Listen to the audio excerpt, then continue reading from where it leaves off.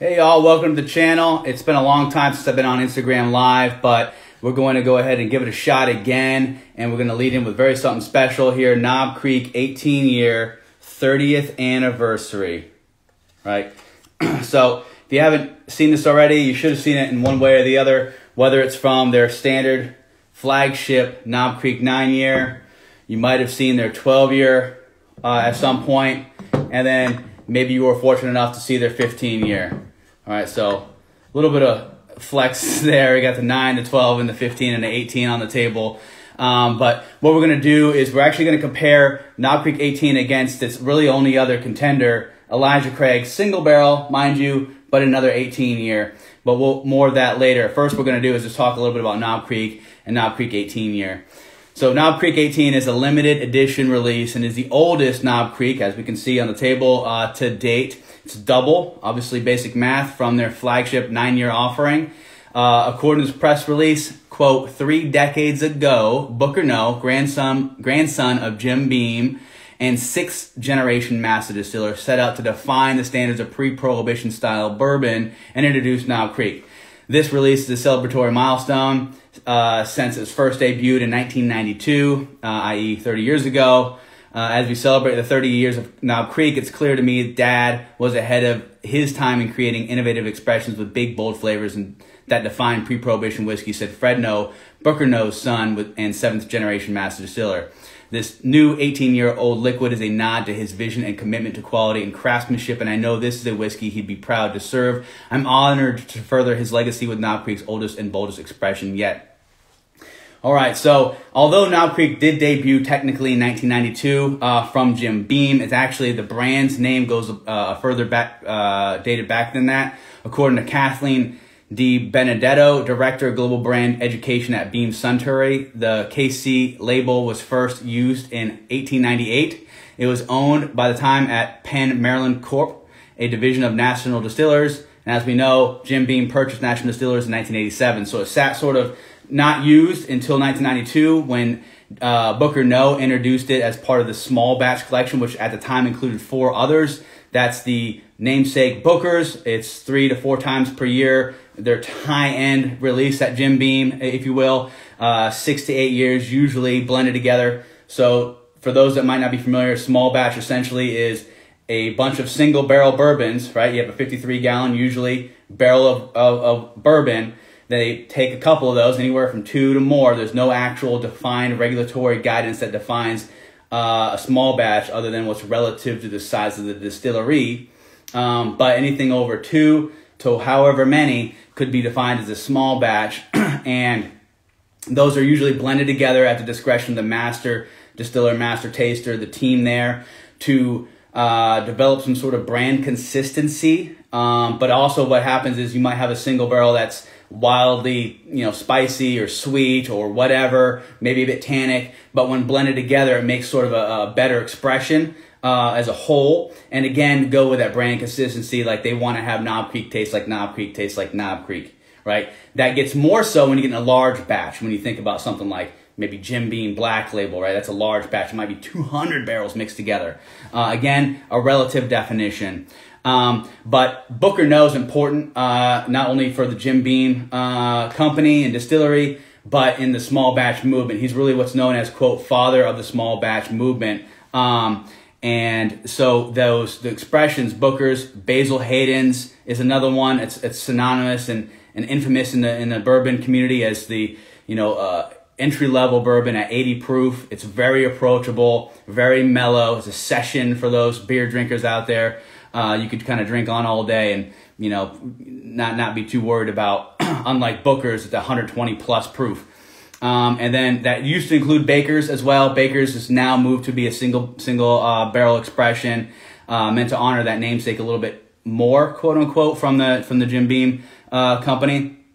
But now we have Knob Creek, which is again a nod to the pre-prohibition uh, era, although that's probably not true uh, from every research that I found pre-prohibition and further back whiskey is not not so good. Um, and, and in the good way that we move forward from that, but a nod in, in some ways, I guess, uh, to pre-prohibition liquid. So since those three decades that 1992 rolled around and Knob Creek came out, uh, Knob Creek's seen a bunch of different things to include not a bourbon, like a rye. They have a straight rye. They have a bunch of flavored whiskeys, special cask finishes. They even had a single bat, uh, single cat, uh, barrel uh, expression as well, which is kind of funny considering everything we just talked about. Um, but sad to say, in 2016, the nine year expression saw the age statement go away for a while, a spell until about 2019. Uh, when it did come back, that was due to some inventory concerns. Um, but that when it did come back out back in 2019, it came alongside uh, a statement that said, hey, we're going to release some older stuff. Uh, that included at the time a, a limited release, a 12 year, which a year later in 2020, we saw that become a permanent expression. Thankfully, it's phenomenal. I did do a blind between 9, 12, 15 and I'm I'm I'm uh, I like the older stuff, and the 12 even won. so uh, the 15 came alongside uh, in 2020, and it was um, uh, and it still is a limited expression. And then two years later, boom, 30th anniversary. They're uh, 18 years. So we saw three years, three years, three years, three years. So hopefully we'll see a 21 year, maybe if we're lucky in the future. But until then, we are going to be sampling the Knob Creek 30th anniversary. And of those, uh, again, one last little plug here for Knob Creek. Uh, the mash bill uh, is suspected 75% uh, corn, 13% rye, and 12% malted barley. And that should be true for all these at 100 proof. That's sort of the brand thing. And again, there is some one-offs, like they have 100, 120 proof uh, release, but their, their basic offerings, 9, 12, 15, all, and 18, all 100 proof. All right, that was a lot. Uh, so what I'm going to do is slide these guys over and maybe we'll do a blind between them. But, but, but really, the age statement, you know, that's a great blind flight to do to showcase what bourbon does when everything else is the same but age. Um, but what I'd like to do now is sort of a side by side. I don't know what's underneath one of these cards, but I know that one of them is Knob Creek 18, one of them is Elijah Craig 18. And I'll just uh, move that like this, I guess. Move these in. I don't have much space. I'm working on my phone here. but, goodness. We'll start with the left glass. No surprise, there's some oak on the nose. Vanillas, caramels, your classic bourbon stuff. Nothing really crazy going on. And I know for me, I'm a, I actually like Elijah Craig 18. It's a single barrel offering from Heaven Hill. It's known in the community as something you love or hate. Um, it's very simple profile. It doesn't get really complex like some of the older, like, you know, some of the stuff like the 2025s that you might find. Pappy 23's got some nice complexities on it. Again, very mature, earthy, tone notes, but you know, I, I don't find that to be true on some uh, on on either one of these. But maybe today's different.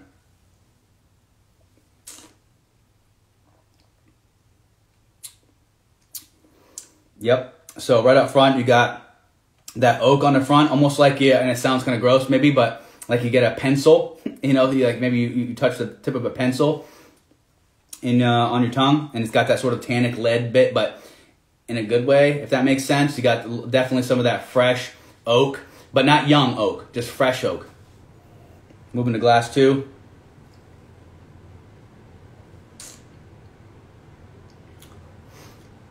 This one, glass two, has got more of your sweeter caramel type notes to it that the glass one, which I'm going to go on a limb, I'm guessing this is Elijah Craig 18. Glass one, I'm going to guess is Elijah Craig 18. That's what I'm guessing um, due to what I remember about it. Now, single barrels, they can vary, you know, barrel to barrel, but they've done a pretty good job of staying consistent for the brand.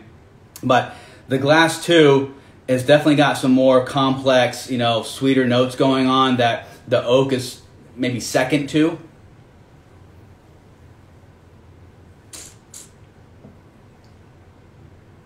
But it's back there. That oak is definitely back there. It's like a fresh breath of that same sort of stuff that was going on for the oak, like that pencily kind of thing uh, on the glass one. Maybe it's a touch tannic too, but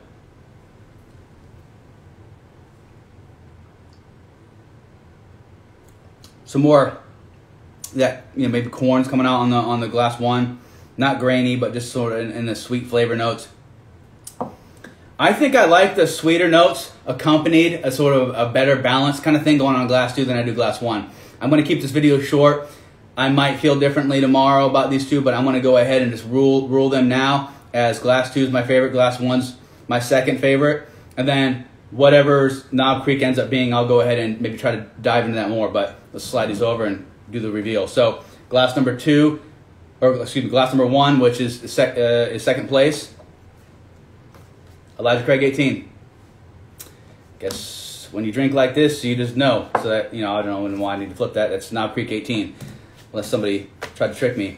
So I will save this for later because that's fantastic. I'll put that aside, but I'm going to go ahead and spend a little bit more time diving into what won the blind flight of Knob Creek 18, and I think it was kind of simple. Again, because the Elijah Craig 18 was a very simple pour uh, in, in, terms of like complexities uh, as compared to you know the balance that I found immediately on the Knob Creek 18. But we'll, we'll, we'll dig this in. This is definitely a light to medium body.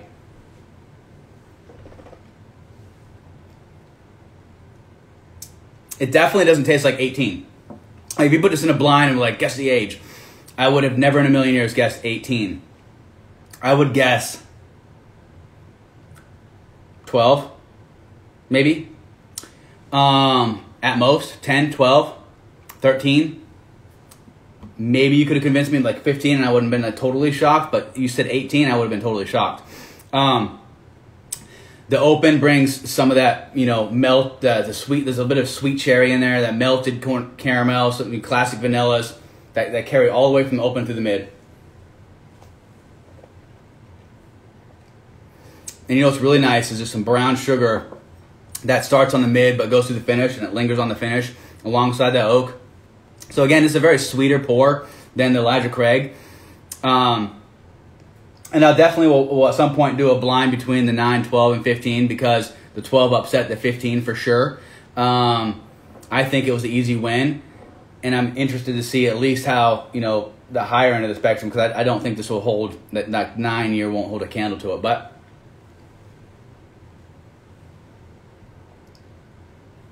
This is a good pour. Happy anniversary, Knob Creek. And to everyone out there, cheers and thanks for tuning in. Till next time.